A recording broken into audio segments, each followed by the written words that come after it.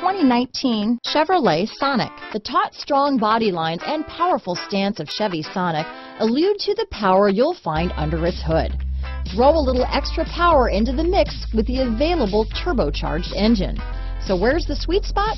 Behind the wheel. This vehicle has less than 100 miles.